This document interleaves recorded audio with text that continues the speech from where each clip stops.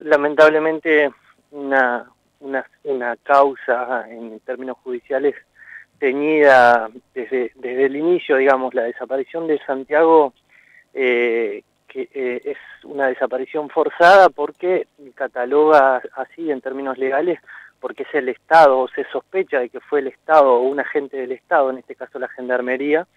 eh, quien lo secuestra y lo desaparece. Por eso es desaparición forzada, ¿no? Hace dos años que lo venimos diciendo, pero nunca está de más recordarlo. Digo, tenía en términos políticos porque eh, el Santiago estaba eh, en una protesta eh, pidiendo por la liberación del lonco Facundo Jones Walla, que es el, el, la, la, referencia de, de, los mapuches en ese, en ese, para la Patagonia, y estaba había sido detenido y estaba preso de manera bastante también ilegal,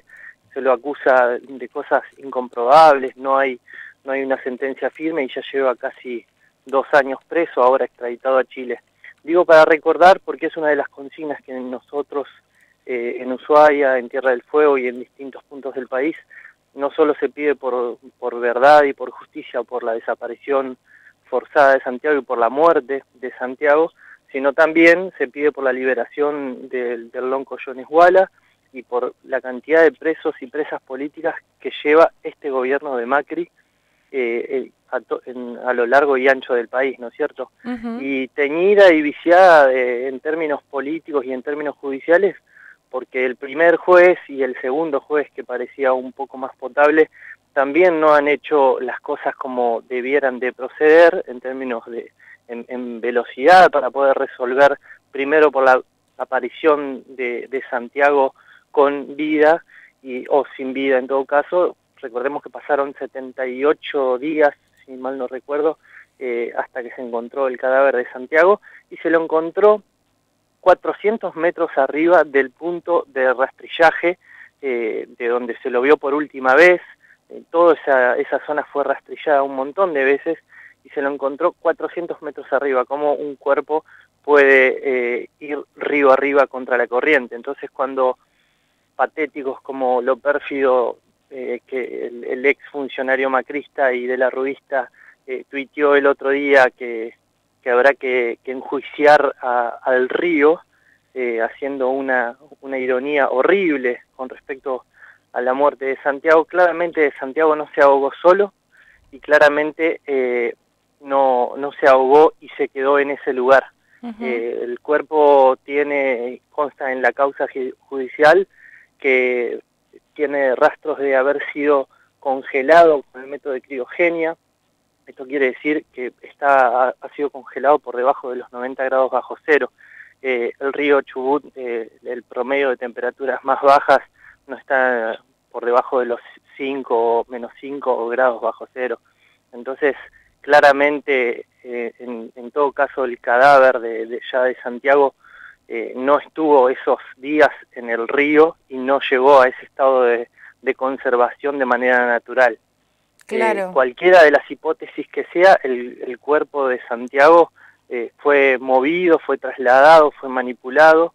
por eso pedimos verdad y por eso pedimos justicia. Claramente ha, ha habido un ocultamiento eh, y un, un, intento de que no se llegue a la verdad por parte de los agentes del Estado. Las camionetas se, se tenían que peritar inmediatamente y el juez que actuaba en ese momento, el juez eh, Otranto, si no me equivoco, sí. le avisa y, y consta también en, en, la causa judicial, le avisó al viceministro eh, Nocetti de que iban a, a peritar las camionetas, o sea, dio el preaviso por lo cual pudieron lavar las camionetas, eh, ocultar todas las evidencias, digamos, sin siquiera llegar a conjeturar eh, que haya sido la gendarmería, que claramente lo está muy implicada, porque recordemos que, que fue la que reprimió sin una orden judicial y por fuera de su, de su jurisdicción, que es la ruta, eh, entrando, adentrándose en, los campos eh, en los que estaban en, desperdigándose asustadísimos por la represión que se estaba cometiendo, eh, el pueblo mapuche se, se dirigió campo adentro y los persiguieron, lo cual también es ilegal, por eso digo desde un inicio, eh, el, sin, sin siquiera tener uno las pruebas de que la gendarmería fue quien lo desapareció, porque justamente no tenemos la verdad, y es lo que se reclama, eh, insisto en esto de que eh, la, la gendarmería se fue lavando las manos y ocultando cualquier posibilidad de prueba. Incluso, si hubiesen tenido las manos limpias, incluso ocultando las pruebas de su inocencia. Claro, todo esto, eh, Miguel, que contás, se da también en un contexto de un gobierno que aplica políticas económicas neoliberales, el gobierno de la Alianza Cambiemos, junto con sectores que de alguna manera históricamente han alentado la, represión también a las comunidades originarias. Eh, esto que vos mencionabas, el rol de la, de la Gendarmería Nacional, que por estos días también es noticia con este servicio cívico voluntario promocionado por eh, Patricia Bullrich. Eh, realmente mucho por, por pensar, por reflexionar, pero también por exigir ¿no? al gobierno nacional y a las autoridades del Poder Judicial que realmente tienen que esclarecer lo que sucedió con Santiago Maldonado. Sí, claramente lo que vos decís es muy cierto. Eh, también esa protesta en la que Santiago fue eh, solidariamente a participar, eh, digamos, ya que él no era, no es de pueblos originarios y, se acercó solidaria y políticamente haciéndose eco de esa protesta, también estaba enmarcado dentro de las políticas neoliberales. Recordemos que hay una ley, ahora no recuerdo el número, que protege a, los pueblos originarios y les reconoce, porque está reconocido por la Constitución Nacional de 1853, el derecho de los pueblos originarios a la tenencia de la tierra que habitaban antes de que Argentina sea un país-nación. Entonces, está reconocido constitucionalmente, hay una ley que se prorroga una y otra vez eh, hasta que haya una, una ley que marco que, contemple eh, esos derechos que son el derecho a la tierra, que son el derecho a respetar su propia cultura, a una cultura y una educación bilingüe. Eh, los gobiernos anteriores que, lo precedieron habían prorrogado sin problemas esa, esa con debate, pero sin, sin problemas esa ley, eh, y, ha, y ha habido un mayor respeto, no vamos a decir un total respeto de los pueblos originarios, y este gobierno está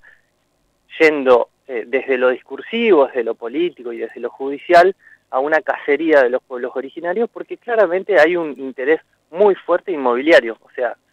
todo podríamos decir se reduce al interés inmobiliario que hay sobre la Patagonia y al interés sobre los minerales también. Es un, un, territorio muy rico en cuanto a la evaluación inmobiliaria, lo que valen los terrenos en las zonas de Bariloche, de Río Negro en general, y también eh, los intereses que hay sobre el agua. Eh, ese es un, son predios que están en disputa con, con el usurpador de Benetton, un extranjero ilegal de primera, digamos, como siempre se dice, ¿no? O sea, los ingleses que tienen vastísimas hectáreas en toda la Patagonia, nadie habla de ellos, no están en ninguna etapa de ningún diario, en cambio cuando una persona extranjera que viene a trabajar, que también está o a vivir en, Argentina, que está contemplado también por la Constitución Nacional, todo habitante que pise suelo argentino tiene y gozará de los mismos derechos que una, que una persona nacida en Argentina, eso sí, llenan tapas,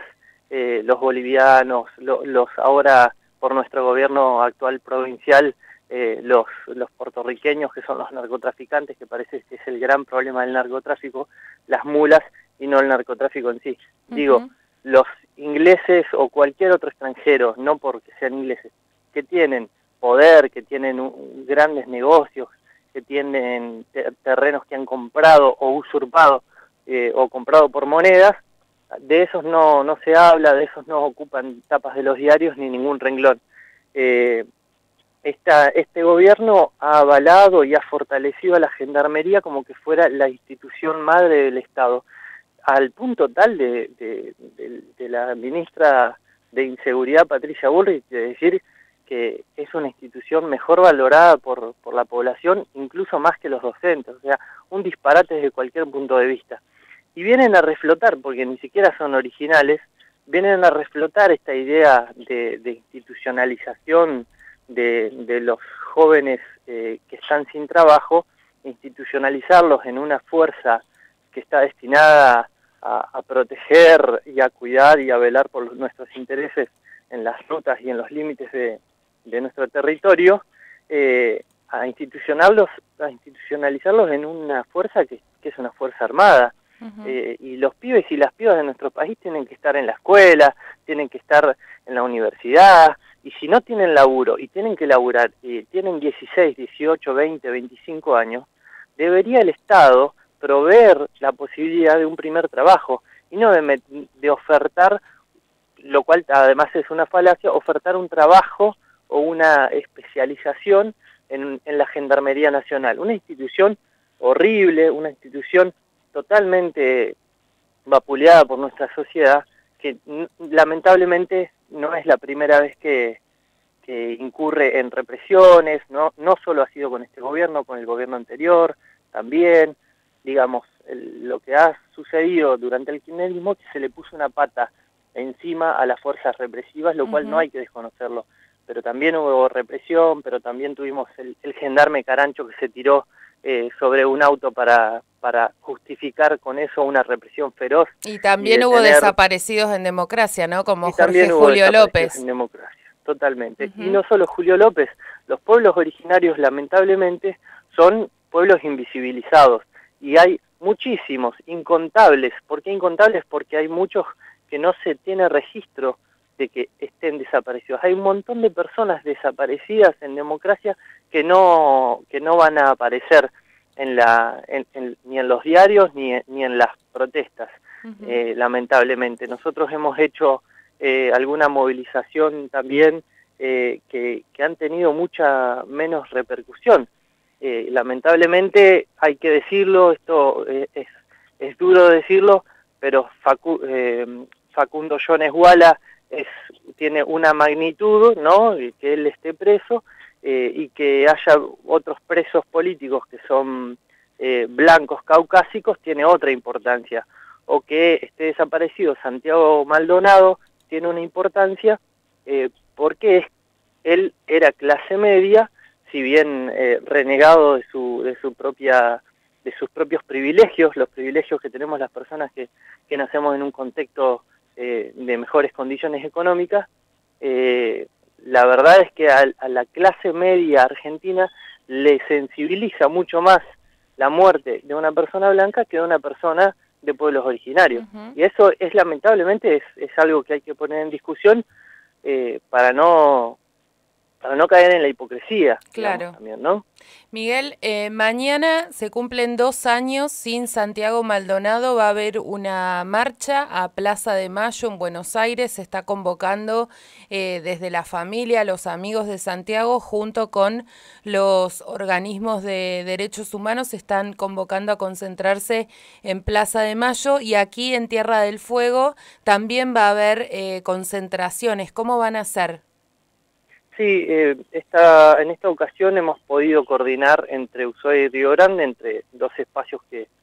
que, tienen denominación y, un trabajo eh, en común, digamos, que es la militancia por los derechos humanos. Nosotros desde Ushuaia, con la multisectorial de derechos humanos de Ushuaia, y, y, en Río Grande, la multisectorial de derechos humanos de Río Grande, con quien venimos teniendo algún vínculo, eh, si bien no tenemos un trabajo en, conjunto, eh, lo hemos empezado a hacer, tuvimos una reunión hace un año y medio y, estamos viendo de trabajar otra próximamente, pero son dos actividades por en cada ciudad que cada, que cada quien organiza y tiene su responsabilidad. Nosotros acá en Ushuaia convocamos a las 16.30, un poquito más temprano debido a nuestras condiciones climáticas y, de poca luz, eh, y en, es en San Martín y Fadul, a las 16.30 y en Río Grande a las 17 horas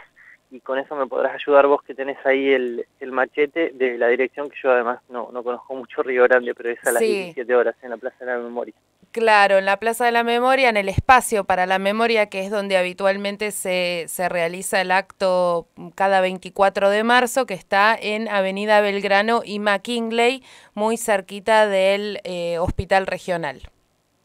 Así es. Sí, y por último decirte que convocamos a, todas las personas que puedan acercarse, que se sientan sensibilizadas con esto, que tengan información o que tengan menos información, la idea que sea un, todos estos actividades, estos actos, sean un espacio de encuentro, de, discusión, de conversación, de quienes eh, solemos eh, estar en, las calles, en las protestas, en las discusiones, en las distintas organizaciones políticas sindicales, eh, organizaciones de base, organizaciones sociales, y que nos encontramos en los espacios comunes que son los espacios de resistencia, en los espacios en los que no vamos a permitir eh, que, pasen desapercibidas las injusticias de ningún tipo, digamos. Eh, mañana estamos eh, lamentablemente recordando y, protestando y pidiendo justicia por Santiago Maldonado, pero desde el espacio en el que integramos en la multisectorial, en la que estamos distintas organizaciones, venimos trabajando con, en distintos aspectos, así que todo aquel que se, aquel o aquella que se sienta identificada con estas situaciones, eh, que, se, que se pueda acercar a, compartir, a discutir. Acá en Ushuaia va a tocar la banda Buena Vida, vamos a compartir unas tortas fritas para hacer más ameno el espacio y para llenarlo un poco más de contenido cultural también.